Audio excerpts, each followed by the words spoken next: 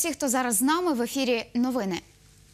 У Тернополі у парку Топільче відбулися козацькі забави до Дня захисника України, Дня українського козацтва, Пок- покрови Пресвятої Богородиці та 76-ї річниці створення УПА. Участь взяли близько 600 дітей із 32 навчальних закладів Тернополя, повідомила організатор Світлана Миханчук. Проводять ці забави 27-й рік поспіль. Захід складався із двох частин. Перша театралізовані постановки і шикування, і друга 10 естафет, серед яких стрільба із лука, перетягування линви, ходьба на ходулях, піднімання лантуха. Зі святкування повертається наша знімальна група. Більше ми розкажемо о 17-й годині. 11 військовослужбовців строкової служби із областей України сьогодні звільнили у запас. Вони відслужили півтора року на Тернопільщині. Чотири місяці хлопці перебували у навчальному центрі. Решту терміну у військових частинах, де служили і працювали за здобутими спеціальностями. Це плац військової частини А-3215. Під супровід військового оркестру марширують військовослужбовці. Одинадцять строковиків відслужили свій термін. Сьогодні їх проводять додому. Слава Україні! Для вас це, звісно, радість.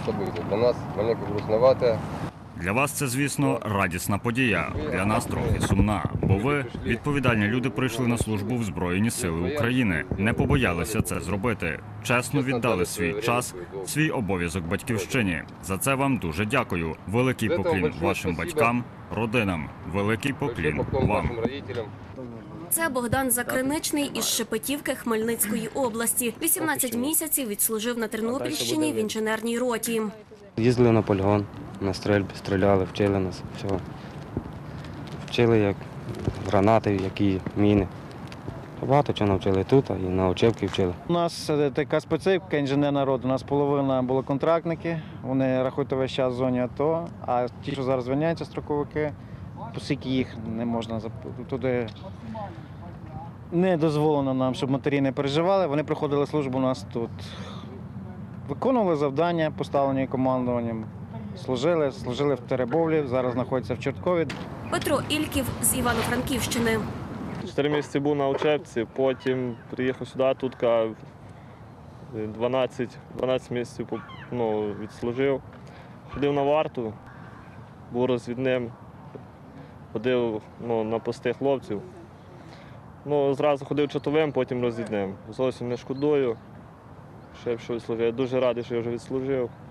Ну і бажаю, хто служить пацанам, бажаю теж відслужити, все буде добре. Соломія Струс, Андрій Прокопів. Новини.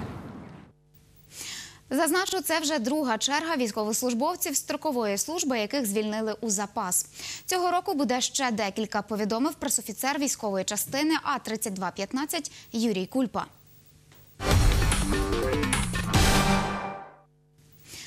Знизити ціни на пальне сьогодні вимагали учасники тернопільського осередку «Автоєвросила».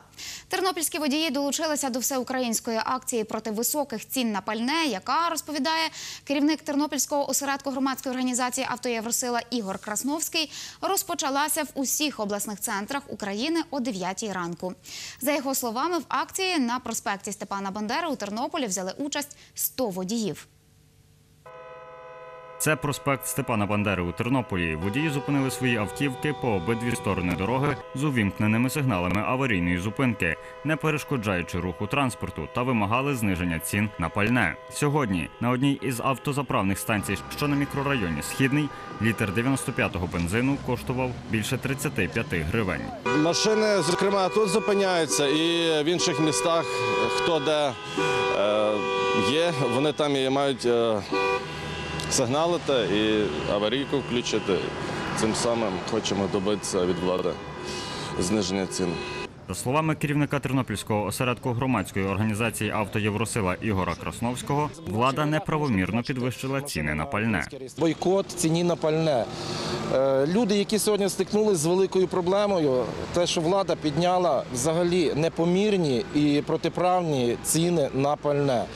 Всі прекрасно розуміємо, що ціни на пальне вони потягнуть за собою е, подорожчання всього іншого. Це перевезення, це послуги, які надають е, перевізники, е, допустимо, там, які перевозять товари дистриб'юторам до торгової точки. Це медичні послуги, це та ж сама швидка, яка заправляється, це таксі. Це абсолютно все, що тягне за собою доставку чогось або перевезення. Проти підвищень на пальне 18 квітня ми були своїм осередком під кабінетом міністрів. Це коли пан Гройсман з своїм кабінетом хотіли підняти акциз і мито на паливо в районі 40% з 1 травня. Ми відстояли і цього не відбулося. Але все-таки вони зробили за спиною свої справи. Акція тривала з 9 до 10 години ранку. Це попереджувальна акція, каже Ігор Красновський. Якщо влада не відреагує і ціни на пальне не знизить, автоєвросилівці збиратимуться знову.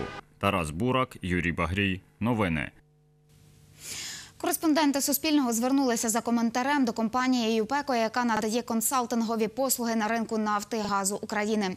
Аналітик цієї компанії Олександр Сіренко каже, перший чинник, який впливає на ціни на пальне, це котирування на ринку пального. До України відноситься передусім європейський ринок. Котировки з європейського ринку на бензини та дизельне пальне мають значний вплив. Як відомо, нафта в світі за останні два місяці виросла там з 75 до навіть 87 доларів за барель була позначка. І це є головний чинник зростання цін е, в опті, в розробі на заправках, безпосередньо там, де водії заправляються вже в автомобілі. Другий чинник через те, що по різних нафтопродуктах від 50 до 80% ми закуповуємо той нафтопродукти по імпорту, бо в нас зупинені нафтопереробні заводи через брак сировини, тому ми витрачаємо валюту. Як відомо, гривня в нас змінила свої на перший погляд здавалось міцні позиції. З липня здається до вересня майже на 2 гривні там по відношенню до долара та євро гривня втратила позиції. Ну і третій, який впливає на ціну пального, це дефіцит або профіцит продукту. Дякувати Богу, цього не відбулось. Тобто ринок працює стабільно. Всі заводи і ті, що в Україні виробляють пальне, і за кордоні там е, найголовніші там постачальник Мозирський НПЗ з Білорусі. Він працював в цей період нормально. Ми бачили ритмічні поставки пального до України і залізницею, і танкери працювали. Тобто цей чинник не мав вплив і дивимося уважно на перші два: зростання цін на нафту і на нафтопродукти, і на українську гривню. 13 жовтня в Тернопільському обласному драматичному театрі прем'єра музичної комедії Майська ніч за повістю Миколи Гоголя. Сьогодні наша знімальна група побувала на прогоні вистави.